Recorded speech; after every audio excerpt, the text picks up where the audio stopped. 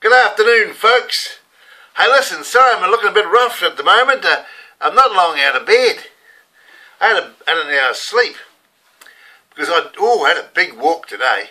I've got these brochures, you see. I've got a thousand brochures. I've got to fold them all, and I've got to hand deliver them into letterboxes because I'm trying to raise some money to promote my town of Timaru. But nobody will give me any money, you see. So I've got these brochures. I've spent a fortune on them, and I've got to go around all the houses and poke them in letterboxes, right?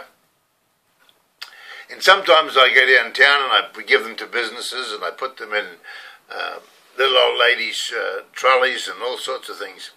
But I've got a thousand I've got to get away. Because I've got to get some money in. The money's just not coming in. And I can't work for nothing, you know? I've got little kids out there wanting me to video them on, on, playing rugby, and I'm waiting for the rugby union to reply to me. I've asked them if I can have permission uh, in writing uh, so they can video them, but they haven't replied to me. And then I've, another thing I've got, I've got these cyber bullies on, on, on my case, you see. They kept sending me these stupid emails, arguing with me uh, about all sorts of things. Especially this one when I said how to turn New Zealand into a drugs-free country. Oh, that wound them up. Got all the druggies on the line. They're coming into me, you see.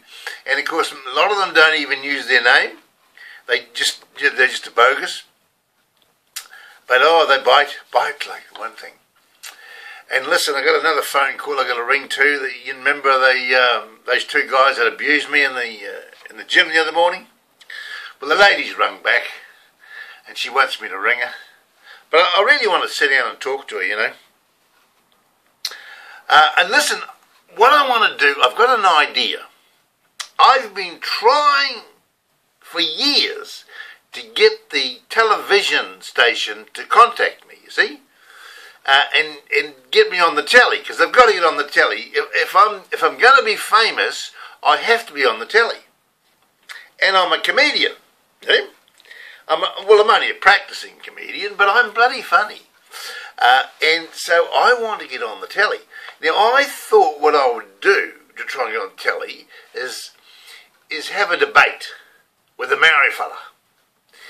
That Maori fella called Hone Hikawera, or whatever his name is, who wants to build those 10,000 houses for the Maoris.